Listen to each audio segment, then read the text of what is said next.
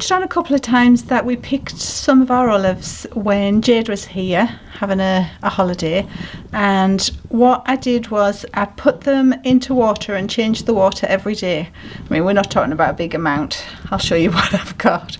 Um, but after about I would say 14, 15 days of changing the water all the time, they then weren't horribly bitter and had that like sucking all the moisture out of your mouth thing.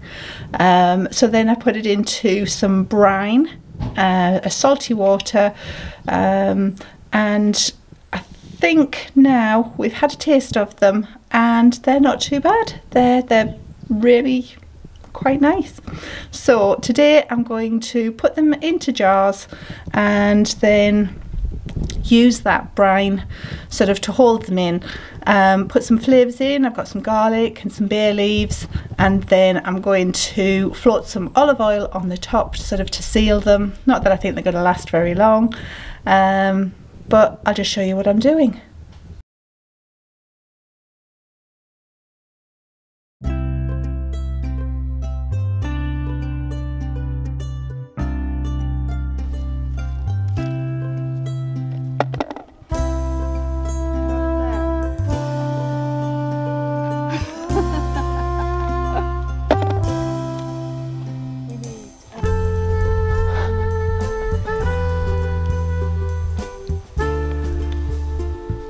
Going to the highest part of the tree. That's where the olives are. Oh, I don't even think you're going to reach them from there. I wouldn't go up any further, love. Doesn't look very safe.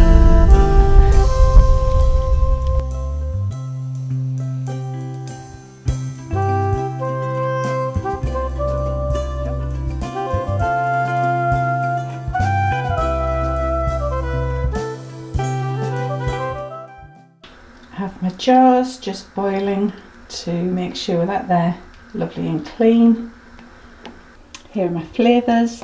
So I've got some bay leaves and some garlic and then these are the olives. So they're in their brine. I'm just going to fill up the jars, use the brine to top them up uh, with the flavourings in and then as I said, float some olive oil on the top and that should help seal the jar as well.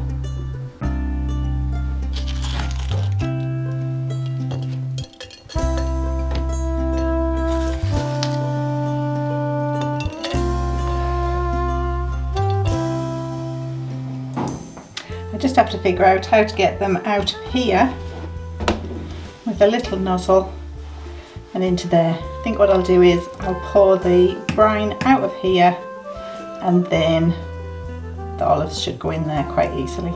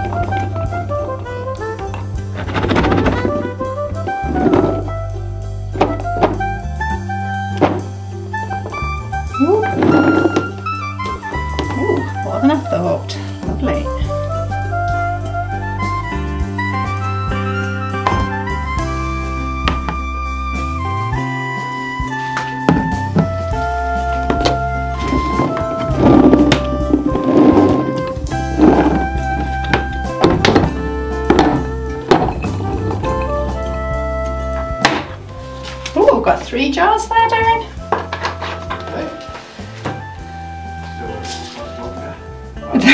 yes, not for much longer.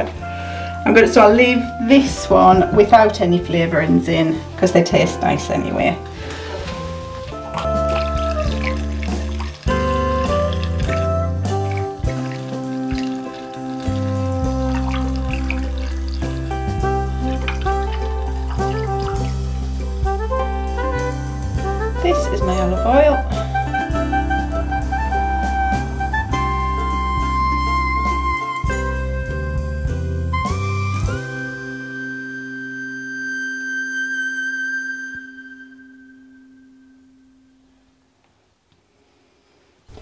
There we go, so more than I thought.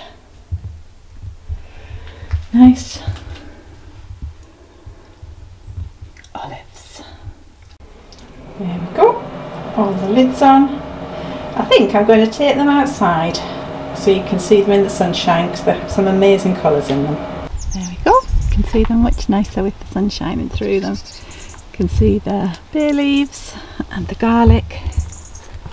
Hopefully they will be delicious.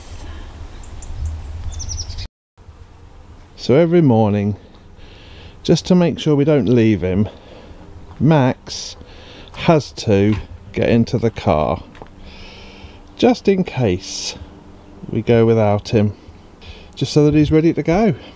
And he's like, Look, we can get ourselves away now. I'm in the car.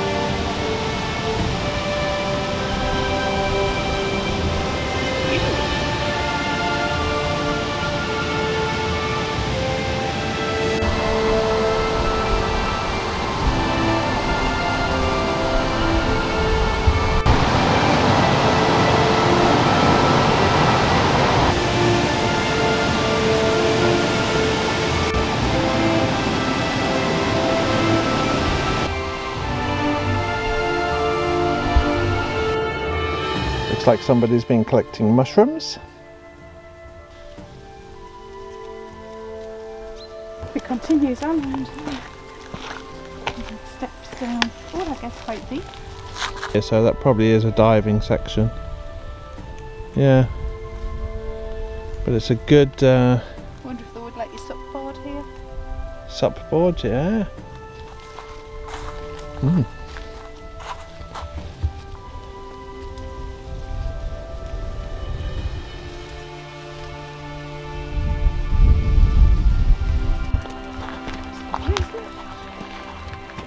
Very nice. Yep. So That's when it was made, where this river beach was made. Or at least the steps were set in. Yeah.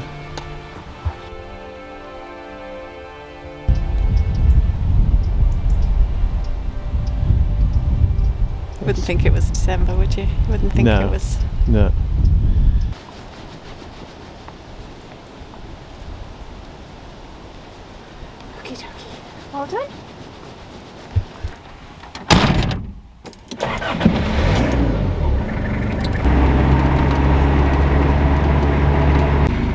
Wow, that was um, A bit exciting. that was a bit exciting. I, I saw something. We were we were just driving up from the river beach, just there, and um, I saw something Like in the corner of your eye. in the corner of my eye. Far too quick for us to capture on camera, unfortunately.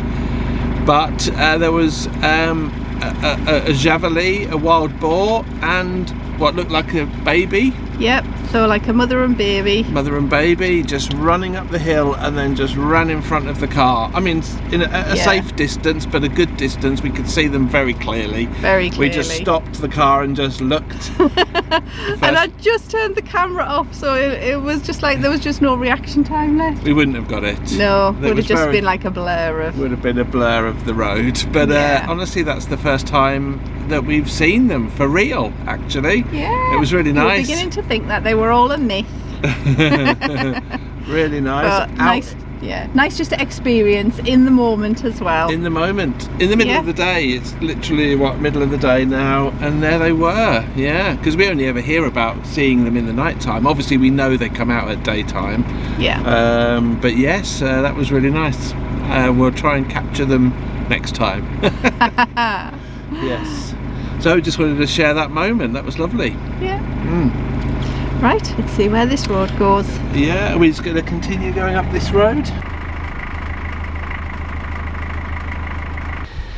We've been quite busy on the land lately, so this morning was glorious for December. We thought we would just take a morning out, travel a road we've never travelled, and uh, we're not even that far from home. We just said, okay, we haven't been down that road, turn that way. You choose the next one. Something I used to do as a kid on some holidays with my mum and dad. Everybody would be, we would call it a mystery tour, and everybody took turns at choosing which direction when you got to like a junction or a fork in the road. So that's what we did, and we ended up here. So uh, beautiful, Yeah. absolutely beautiful, and uh, just what we needed for a, a lovely morning. Clear your head, get out and about, enjoy the winter sunshine. Hope you've enjoyed it.